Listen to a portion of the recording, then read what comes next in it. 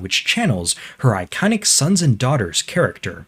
Hello Internet, Rowena, the timeless 76 year old actress, strutting into the salon like she owns the place, rocking a black jumpsuit, a green jacket, and a designer red handbag that screamed, I'm here to steal the show. And oh boy, steal the show she did.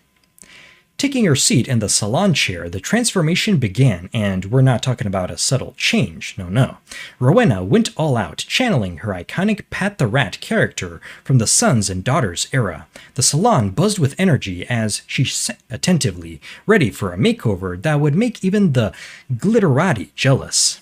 Focused and fabulous, Rowena let the skilled hands at the Double Bay salon work their magic on her lackluster gray bob, and voila! The once muted strands turned into a vibrant chic style, radiating timeless elegance.